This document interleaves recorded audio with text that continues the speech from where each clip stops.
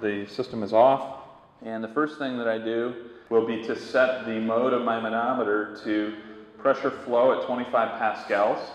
And my device here is the Duct Blaster B from Minneapolis, and my configuration ring that I have on the fan is number three.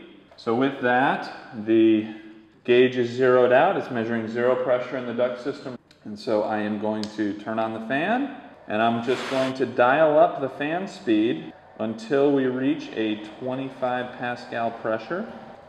Sometimes you got to kind of fuss with it and get it to dial right into 25 pascals. You can see we're reading low on the airflow. That means that basically there's zero to nominal duct leakage on this system. Performing excellent, just like the prior two that we tested out. Should be relatively easy to seal, not a lot of long duct runs, and they did a fantastic job.